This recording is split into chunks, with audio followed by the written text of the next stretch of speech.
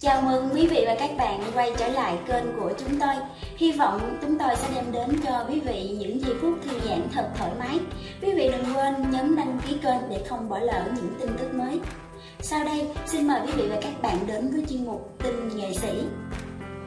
Nam em, nàng hoa khôi, vì tình yêu mà hình ảnh tụt dốc không phanh. Xuất phát điểm là một hoa khôi đồng bằng sông Cửu Long, xinh đẹp duyên dáng nhưng hình ảnh của nam em dần xấu đi trong mắt khán giả. Nam em được biết đến sau khi tham gia Hoa khôi đồng bằng sông Cửu Long và đạt văn đăng quang vương niệm. Một năm sau đó, người đẹp đi thi Hoa hậu trái đất và lọt top 8. Thời điểm đó, thành tích top 8 Hoa hậu trái đất của Nam Em được coi là một kỳ tích với những người đẹp Việt từng tham gia sân chơi nhan sắc này. Trong suốt quá trình tham gia cuộc thi, năm Em được đánh giá cao với nhiều thành tích. Cô còn đạt những thành tích như nhận giải vàng Hoa hậu ảnh, giải bạc, trang phục dạ hội và giải bạc tài năng. Sau Hoa hậu trái đất, Nam Em tấn công mạnh mẽ vào showbiz. Ngoài tham gia game show Beat Việt tới những danh hiệu nhan sắc mà mình đạt được. Cô còn lấn sân sang ca hát khi tham gia game show Tình Bolero, tuyệt đỉnh song ca. Người đẹp sinh năm 96 cho thấy sự chăm chỉ và nghiêm túc với con đường nghệ thuật của mình.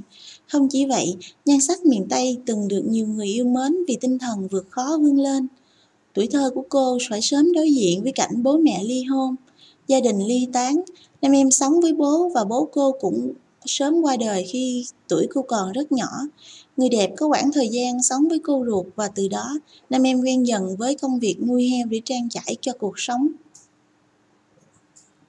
Và để khi đi tới ngày hôm nay là một cố gắng nỗ lực rất lớn của nàng hoa khôi này.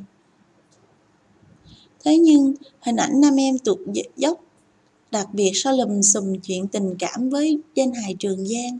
Thời điểm đầu năm 2018, Nam em thừa nhận yêu Trường Giang trên báo chí và cả hai có mối quan hệ tình cảm 30 ngày. Đáng nói là khi ấy, nam danh hài đắt show nhất nhì showbiz Việt đang hẹn hò với diễn viên Nhã Phương. Theo lời nam em thì cô và Trường Giang gặp gỡ nhau tại nhiều show truyền hình, chia sẻ với nhau nhiều điều. Sự quan tâm của Trường Giang đã khiến top 8 Hoa hậu trái đất rung động và nam em cho biết khi đó Trường Giang đã nói về mối quan hệ giữa anh và Nhã Phương không ổn một chút nào. Đó có lẽ cũng là những hy vọng nhỏ nhoi để người đẹp tiếp tục mối quan hệ trên đà phát triển. Thế nhưng tình cảm chớm nở chưa được bao lâu thì bất chợt, Trường Giang có màn cầu hôn với Nhã Phương trên sóng truyền hình và điều đó dập tắt mọi hy vọng của nam em. Ồn ào tình cảm với Trường Giang khiến nam em dấp phải nhiều chỉ trích. Có người cho rằng cô là tiểu tam sang vào mối quan hệ giữa Trường Giang và Nhã Phương. Cũng có ý kiến khi nghi ngờ nam em đang dùng scandal để biri cho sản phẩm mới của mình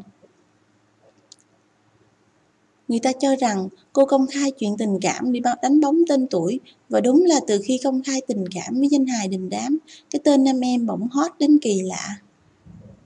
Sau chuyện tình cảm mà Mỹ với Trường Giang, nam em dần xuất hiện trên truyền thông với những phát ngôn ngay sốc, những hành động kỳ lạ.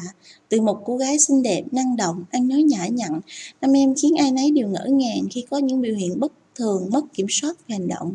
Lúc thì múa thìa, hát hay bỏ tay khỏi vô lăng khi lái xe, khi lại u sầu não về nặng nề, ôm mặt hát như kẻ thất tình giữa chốn đông người.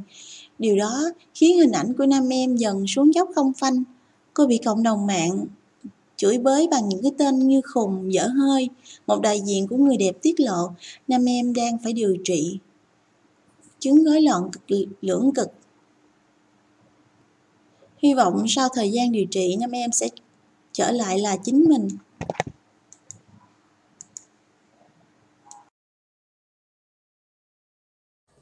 Cảm ơn các bạn đã theo dõi video. Hy vọng là quý vị đã có những giây phút thư giãn thật tuyệt vời. Xin chào và hẹn gặp lại ở video tiếp theo.